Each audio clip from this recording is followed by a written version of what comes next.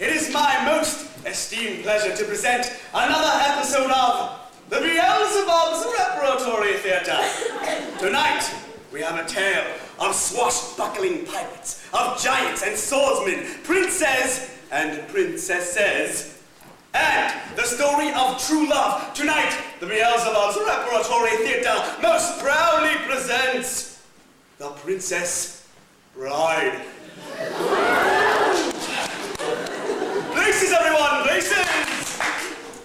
Fun boy! Fetch me a pail of water! As you wish.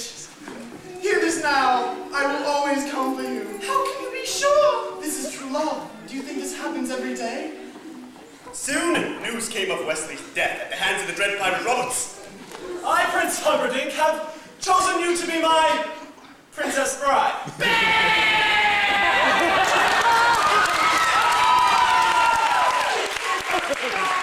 Princess Ophelia of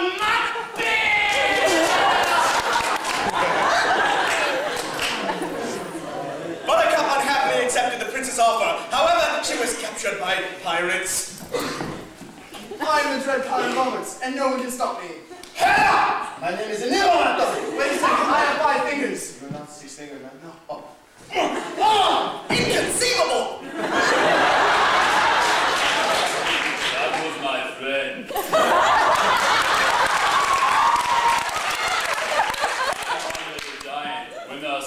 them 77. you know?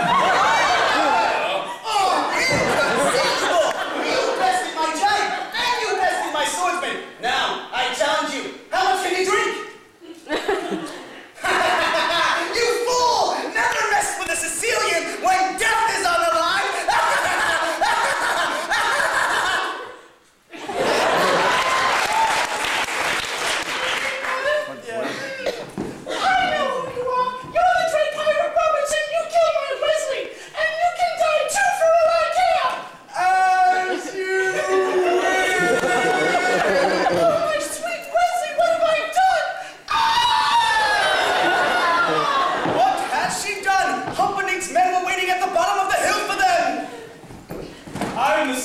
Six-fingered.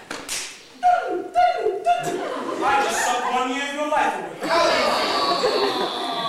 Oh, you think you're like Princess Buttercup, do you? Well, then you'll love the Humperdinck Special!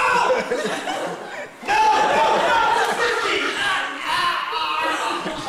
no, Westley was truly dead, and his screams of death led Inigo and Fezzik to find him and take him to Miracle Max.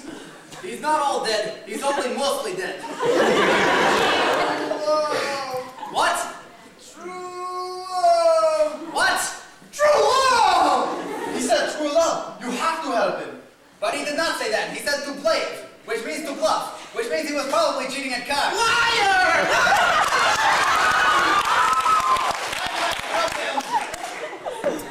Let's go. Bye bye, boy. Have fun storming the castle. it would take a miracle. Bye bye. Meanwhile, back at the prince's castle. Marriage. Marriage is what brings us together. Amen. Well, true love. This blessed arrangement of love. Say man and wife! Man and wife. Hela!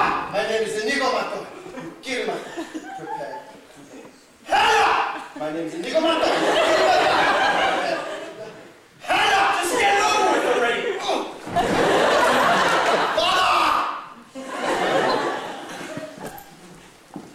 We fight to the death. No, we fight to the pain. To the pain. You can't even move. Oh, really? Bring it! Westley and Buttercup fought death, fire swamps, and even distance, but the love remained true. And to celebrate, they had the most passionate kiss ever to be chronicled in all history. But you don't want to see that. All right.